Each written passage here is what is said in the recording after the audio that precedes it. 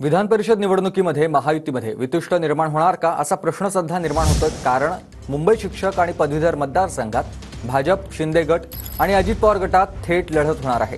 तर आज उमेदवारी अर्ज मागे घेण्याचा शेवटचा दिवस आहे. तर ग्राफिक्सच्या माध्यमातून आपण बघूयात. मुंबई शिक्षक मतदारसंघात भाजप आणि अजित पवार गटाचे उमेदवार आमने सामने आले. मुंबई पदवीधर मतदारसंघात भाजप आणि शिंदे गटामध्ये थेट सामना होणार आहे. अजित पवार गटाचे शिवाजीराव नलावडे भाजप पुरस्कृत शिक्षक परिषदेचे शिवनाथ दराडे हे विरोधात आहेत. पदवीधर मतदारसंघामध्ये शिंदे गटाचे दीपक सावंत आणि भाजपच्या किरण शेलारांमध्ये लढाई असेल.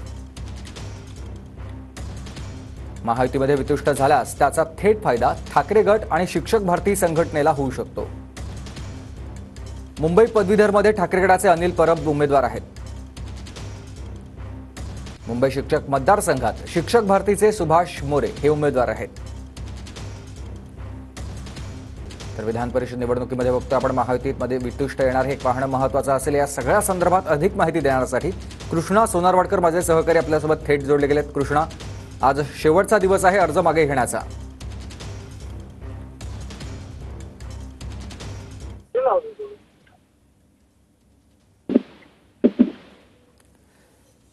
कृष्णा माझा आवाज तुमच्यापर्यंत पोहोचतोय?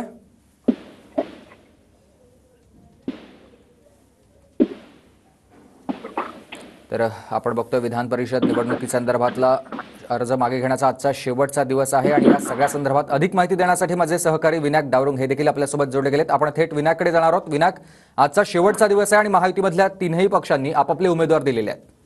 सुमित बरोबर आहे विधानसभेचे निवडणुकीचा एकीकडे काळ जो आहे तो सुरू होणार आहे. त्या आधीच विधान परिषदेच्या या निवडणुका ज्या आहेत त्या लागलेल्या आहेत. विधान परिषदेतल्या या जागांसाठी मुंबई शिक्षक पदवीधर आणि त्याचप्रमाणे मुंबई शिक्षक अशा उमेद हे जे आहेत ते मतदान जे आहे ते होणार आहे.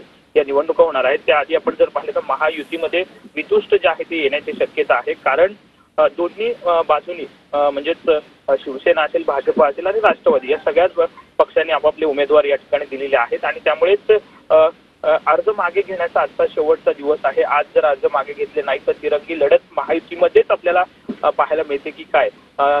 अशी चित्र जे आहे ते सध्या पाहायला मिळते. त्यामुळे आज कोण कोण अर्ज मागे घेतं हे बघावं लागणार आहे. नक्कीच. धन्यवाद दिलेल्या सविस्तर माहितीसाठी तुम्ही.